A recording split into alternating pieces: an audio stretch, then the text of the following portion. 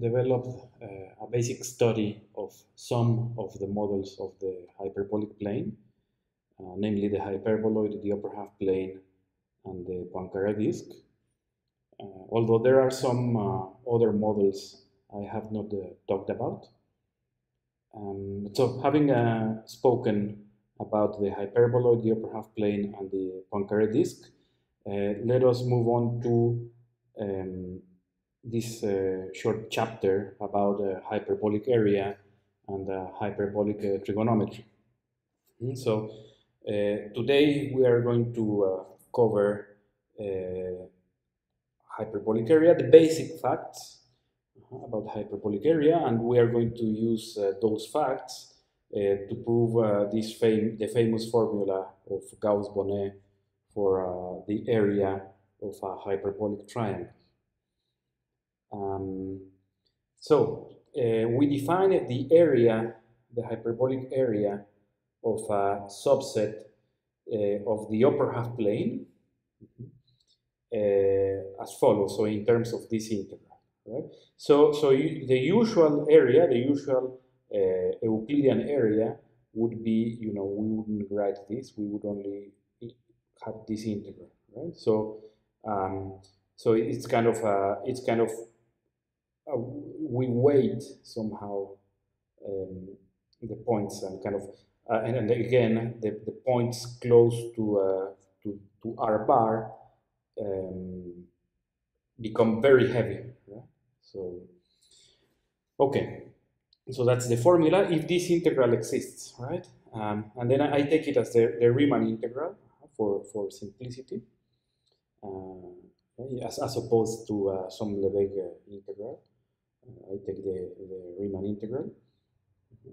Um, and then, of course, one of the first things we would like is that uh, whatever our, our area is, whatever our definition of area is, that it be invariant on their isometries. Um, so you see, the important thing is that it be uh, invariant on their orientation preserving isometries. Um, so this is uh, the first property we established, that uh, if, the, if the area of a subset uh, exists, so that this Riemann, Riemann integral really exists, um, and I take an orientation preserving um, mm, isometry, uh, then the, the area of the image of, of my subset under the isometry uh, exists and is equal to the area of the original set. So let's prove it. Uh, the, the, the proof comes down to uh, to the fact that the that the Jacobian um, is related that, that the Jacobian of nu is related to uh, to the norm of certain complex number. So let's let's see it. So let's write. You see, we can we can of course since since nu nu is a function from u to u, right? we can of course write it as uh, as its um, real and in terms of its real and imaginary part, where u and v then are functions that take uh, real values. Okay, so let's write it that way. I mean, of course, we can say more, right? That we can say that actually v v uh, always takes v always takes positive values on no matter where we evaluate it in u. Right? So that's, that's, something we can say, for instance. Uh -huh. um, okay, and then since since uh, you know we, we want to compare uh, an integral, uh, you know, certain integral and, and an integral after applying nu, so we, we we of course want to compute the the Jacobian of nu as a function you know, as a, as a function of uh, from let's say from R2 to R2. Okay, so so the definition is that it's the determinant of the matrix of partial derivatives of the of the two functions, right? And then the thing is, you see, this this is this matrix is uh, the the matrix that represents the derivative of nu, but when when when I see nu as a function of two two variables, right?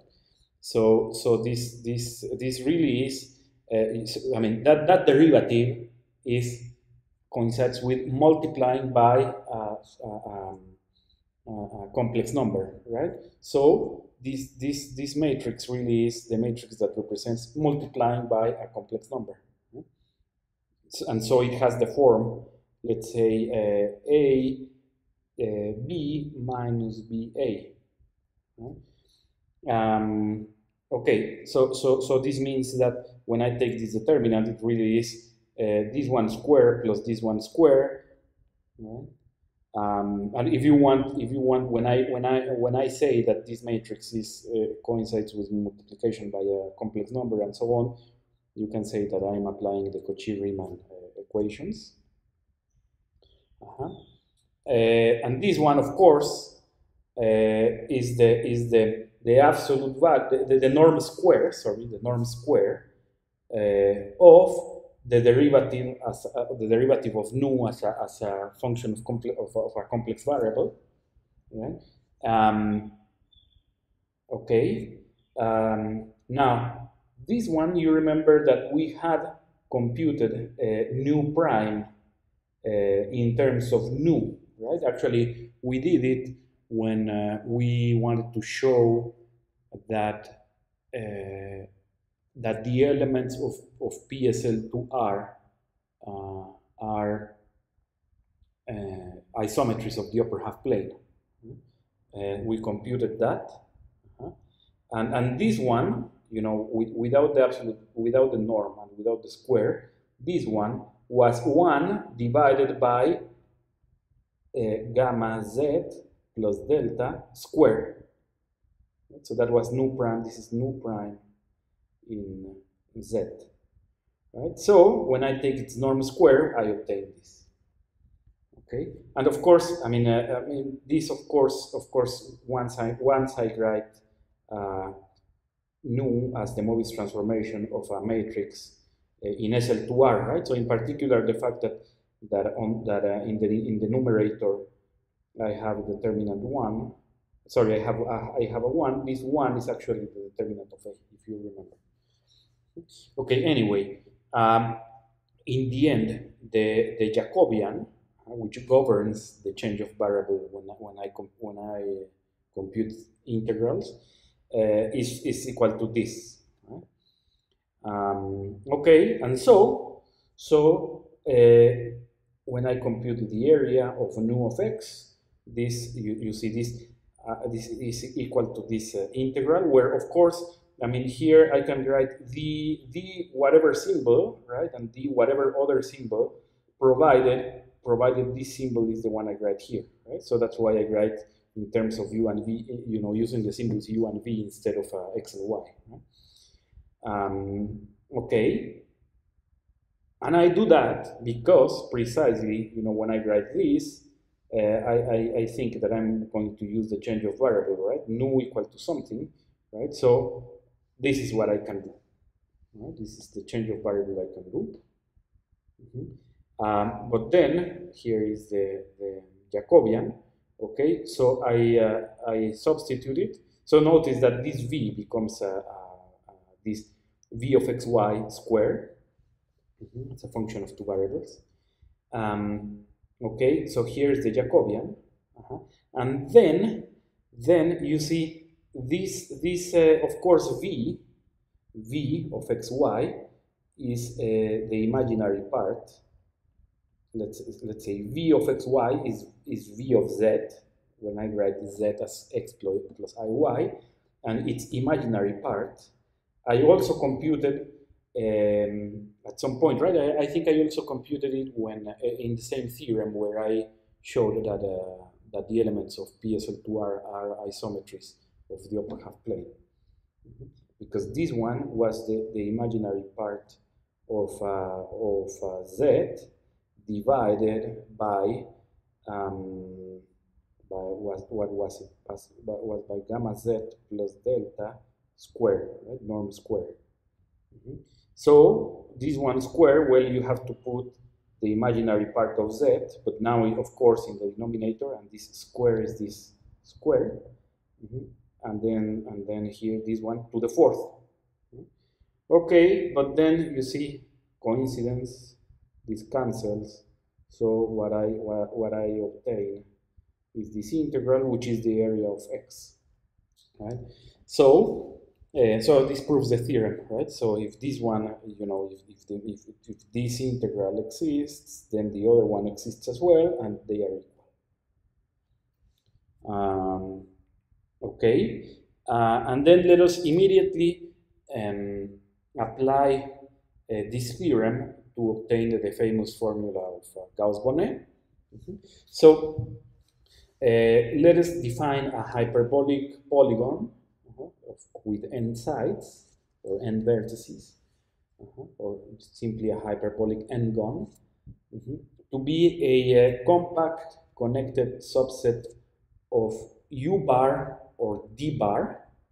Right? So so so here here there's no mistake, right? So here is of the topological closure in C bar of either either of these guys, depending depending on whether you are working in this in the model upper half plane or in the Poincare disk model. Um, okay, compact connected subset of that, and the point is the point is that I'm I I'm going to allow that I'm going to allow uh, my polygons to perhaps have some points in, uh, in the circle at infinity, which would be r bar in the case of u, or would be the unit circle in the case of d. Um, some, some points there right? as vertices. That's, uh, I'm allowing some points, some, some points from circle at infinity to be vertices of this n-gon. So that's why I say that. Uh -huh. um, okay, uh, and then the rest is kind of a, kind of the formalism, right? Of, of, uh, of, okay, so that the the the boundary, you know, the boundary of of, of, of my figure uh -huh, has to be, you know, has has to consist of of n n segments, right? Of um, of shortest curves. Right? But now, of course, since let's say in U I'm allowing my hyperbolic polygon to perhaps have some points from this R bar, the circle at infinity. Uh, so maybe you see this one, oops, so, so, uh, so I have this shortest curve, and of course this endpoint is not part of the shortest curve, uh -huh. so that's why I say topological closure, right? So to allow this point to be part of this segment, and then let's say this, and then let's say this. This would, this would look like a, like a hyperbolic trigon, let's say. Mm -hmm. um, okay, um, and of course the the segments the segments are called the sides, right, of, of my uh, n-gon, uh -huh. and the the intersection points of two segments, right? So when I have two segments, uh, these ones are the vertices. Mm-hmm. Um, I'm going to see uh, uh, some examples in a moment. Okay, so let us see some uh, examples of uh, convex hyperbolic polygons. Uh, first in, uh, in U, in the upper half plane, and then in the Poincare disk. Mm -hmm. So here I pick a convex hull. -huh. So, so whenever I click on points, it uh, it draws the the convex hull between them. So if I if I um, click on two points, uh, it gives me the, the, the shortest curve joining them. And so a third point. So so this is how a uh, hyperbolic triangle with um, you know with uh, all three uh, vertices uh, belonging to U, so being finite points, looks like. Uh -huh. So, and then let's move. So if I move it, if I move the, vert the vertex, the corresponding triangle moves. And you see the ones that have a point at infinity look like this. Point at infinity as a vertex. Uh -huh. And then you see that, that at some points there are some errors, which may be errors of floating point or uh, programming errors. This I would have to go through the code to, to to make sure, but okay. Uh -huh. Okay, and then this is three with three sides, let's say four sides. Right, and then I can also move around.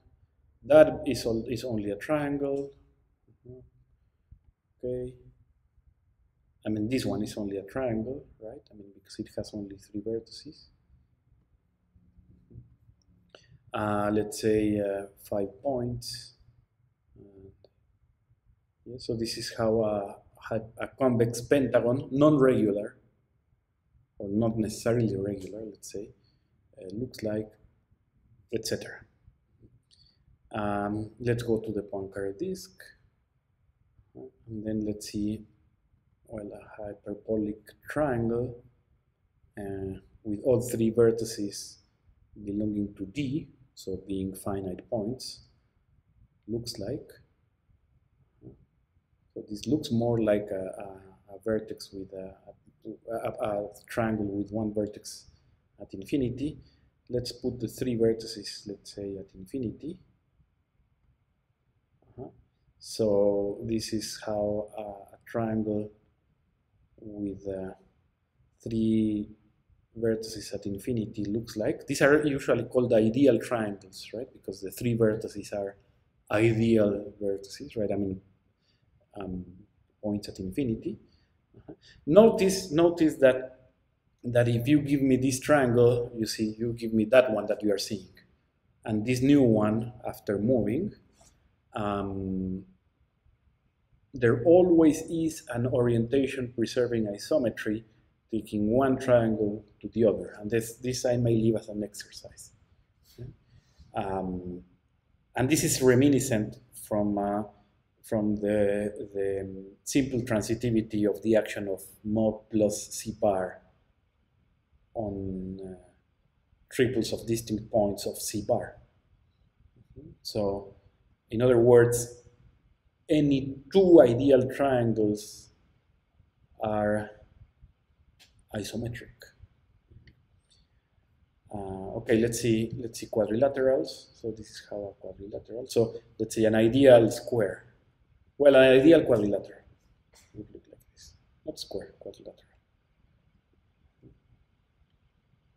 And here you see, you see, if I take this this ideal quadrilateral or this ideal quadrilateral, then then there may fail to exist uh, an orientation preserving isometry taking one to the other because that orientation preserving isometry would have in particular to be given as a Mobius transformation.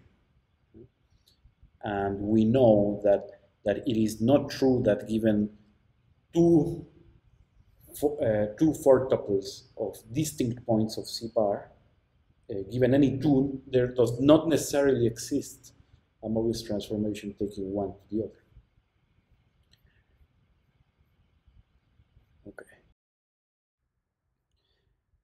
Uh, okay, so uh, the theorem of Gauss-Bonnet tells me if you pick a hyperbolic trigon, so a, a hyperbolic triangle, so three, uh, three vertices or three sides, um, and you measure the internal angles of, uh, of the triangle, and, and recall that, that uh, uh, the, the, the, the, angle between two curves at a point at, at a crossing point is defined to be um, the angle between uh, the tangent vectors. Um, that can be measured, you know, because because I have an inner product on that on, on, the, on that tangent plane. So that's how I measure angles. Um, okay, and, and, and the theorem says that, yeah, we have this beautiful formula, which says that, that the area is fully determined by the angles according to this formula. So, so, so in particular, you see these are really hints to the fact that that uh, that um, that that that that one cannot really have uh, similar triangles of different sizes somehow, right? Because somehow, uh, right? Uh, I mean, the size is determined by the angles. Uh, later on, when we when we speak about uh, trigono trigonometry, we're going to see that actually um, one can actually, if one has certain triangles with the same angles, one can take one to the other with an isometry. So, so kind of something even stronger than, than just saying that the, the, the, size is determined. Um, but okay, but for, for now, let's, uh, let's prove this theorem.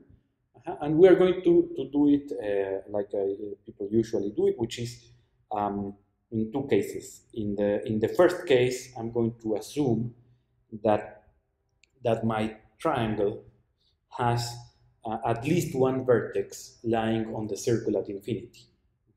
And I'm going to work in the, in the upper half plane model. So I'm going to work on U. Uh. So I'm going to assume that at least one of the side, one of the vertices lies in, in the circle at infinity.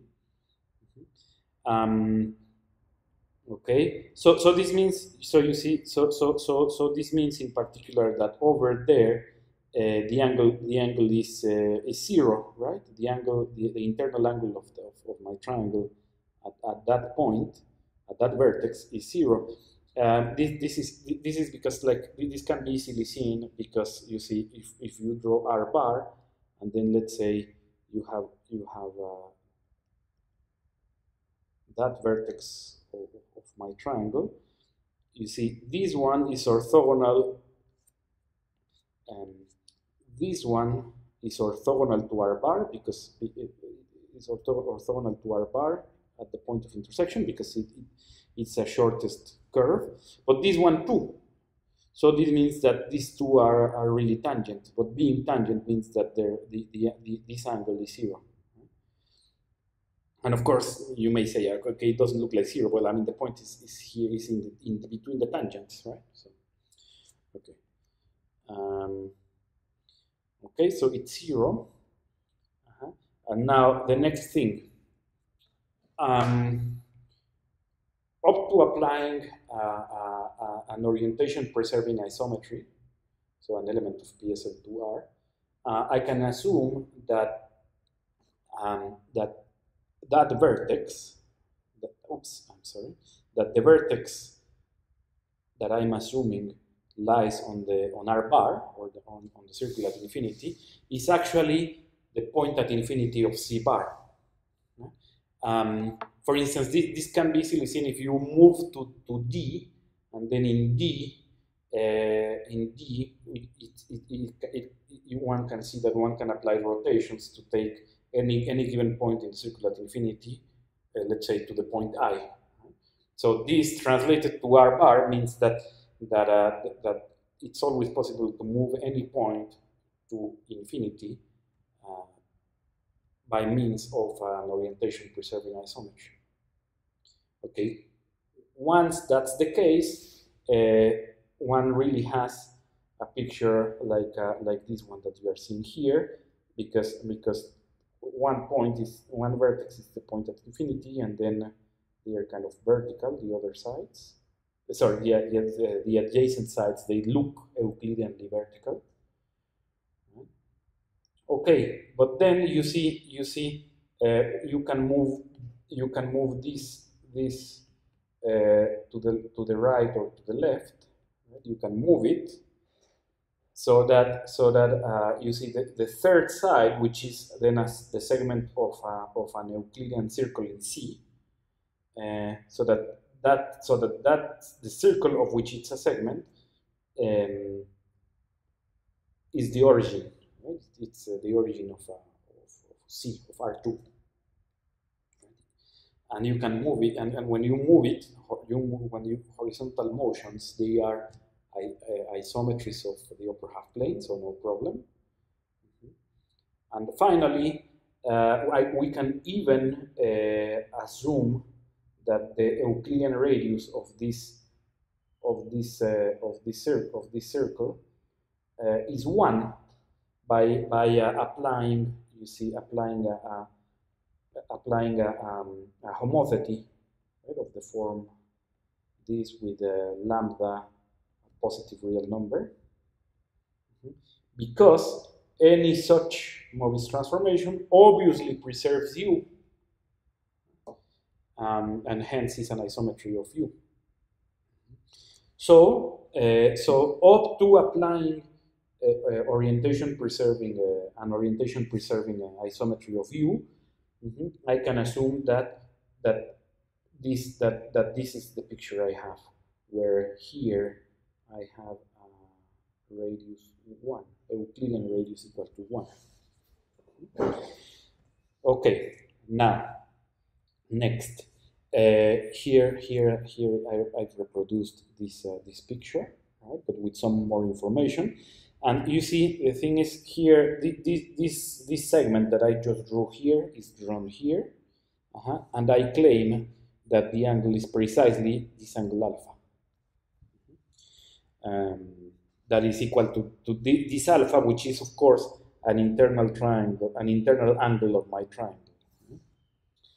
Um, and this is, you see, this is this this is because of the following. So so uh, take take uh, uh, the the Euclidean the Euclidean tangent to the to the unit circle at this point. So at this point, which is a vertex of my triangle of my hyperbolic triangle, take the tangent and, and yeah. Mm -hmm. So because of my Euclidean geometry, this angle is equal to this angle. Uh, but then you see this one is 90 degrees, this one is 90 degrees, uh -huh. so this one has to be equal to this one, and I'm done. And similarly, uh, when I take, when I go from this vertex of my hyperbolic triangle to the origin, the angle is beta with the same proof. Okay, so what does that imply? This implies, before, before I keep going, um, for instance, that when I take cosine of beta, cosine of beta is, is this, uh, you see, is, is this length, this signed length, where I'm simply projecting uh, this, the vertex of my hyperbolic triangle to the x-axis. Mm -hmm. And, uh, and, and you see um, and you see uh, A, A, I mean, all again, if I project this vertex to the x-axis, uh -huh, this A is the signed length, or if you want, is the is the cosine of, well, not of alpha, but of pi minus alpha. Right? The cosine of pi minus alpha is it would be precisely this. So that's the point. So, so if you if you want, when I project and I project, what I have is that the cosine of beta is b, and the cosine of pi minus alpha is a. That's what I'm going to use, mm -hmm, because now uh, I'm now I'm going to compute the area I'm interested in. It's this integral. This integral, uh, well, you see, uh, it it's it's it's, it's, I have to integrate over this, this region. Right? So it's the integral from, from A to B uh -huh, of, well, from this curve up, upwards. Right? So from 1 minus x squared to infinity, and then, you know, my integrand Okay, this is equal to this. It's, it's, you see, this is an improper integral, so I write it a certain limit. Uh, this one, this one, it's easy to find an, an antiderivative, right? It's minus one, one over y. Here's the computation.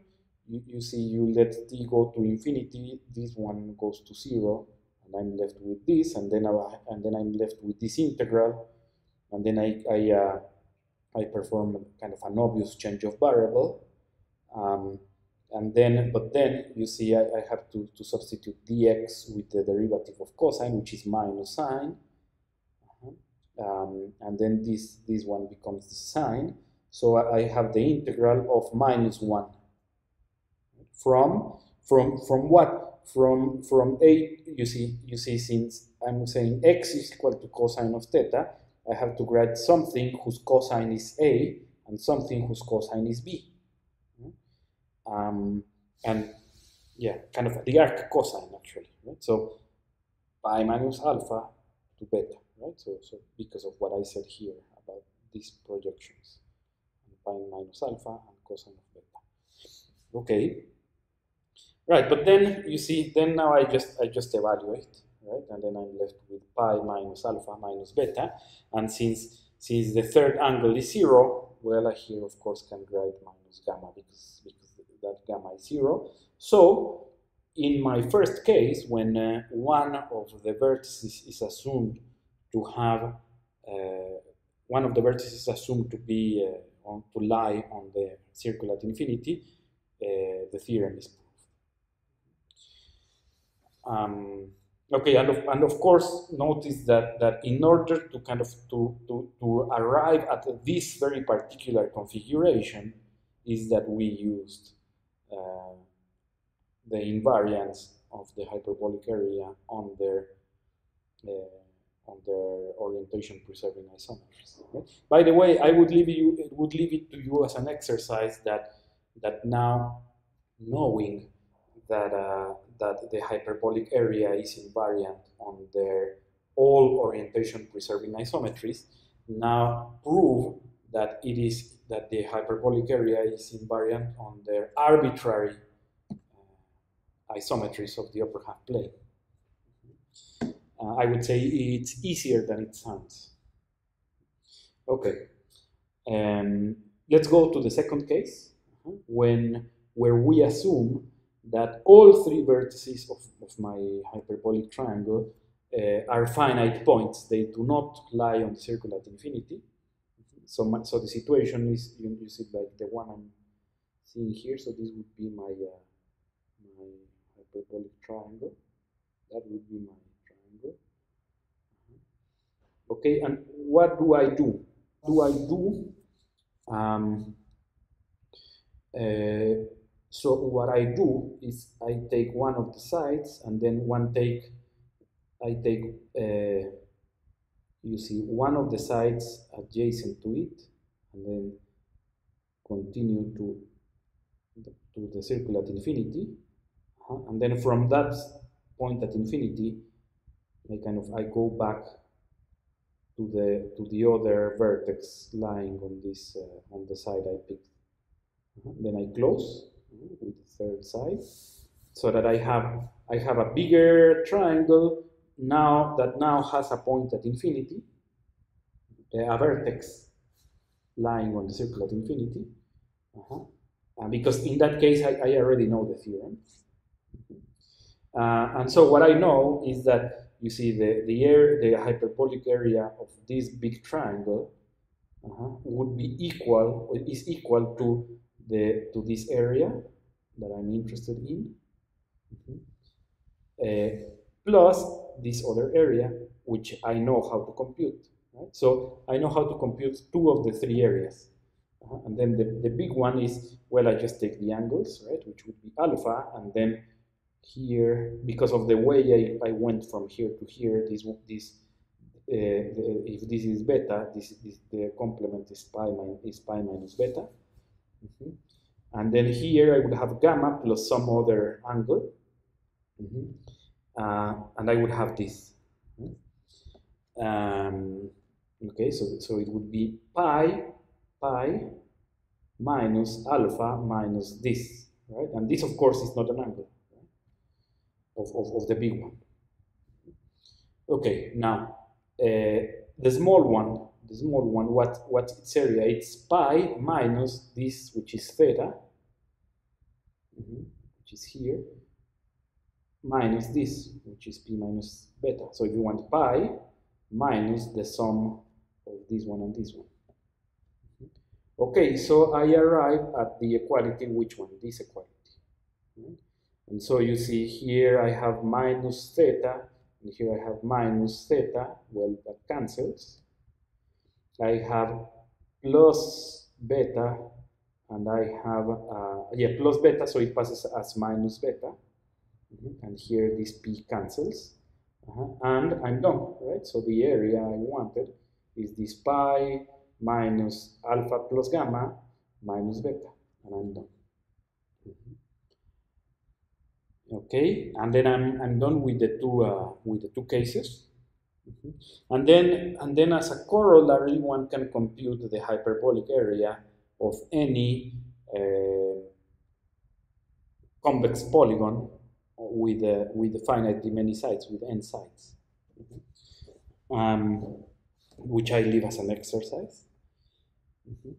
uh, by the way, notice notice that that uh, since in the definition in the definition of hyperbolic n-gon, uh, the sides -huh, the sides which are these uh, segments, mm -hmm. since they are segments of topological closures of shortest curves, uh -huh.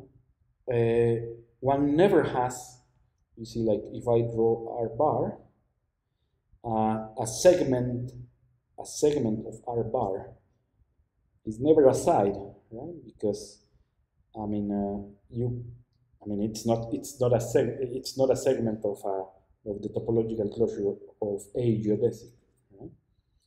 Um, so only, really only, only, only, you know, only things of the form segment of geodesic, perhaps union, perhaps some point at infinity, are sides of, uh, of polygons, at least with this definition. Right? Um,